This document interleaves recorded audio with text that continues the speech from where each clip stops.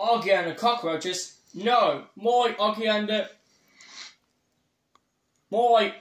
the. Oh my god. This show sucks. This show was about a mother with a, with a blue hair made as. The animation is. The characters are. The theme song is so annoying.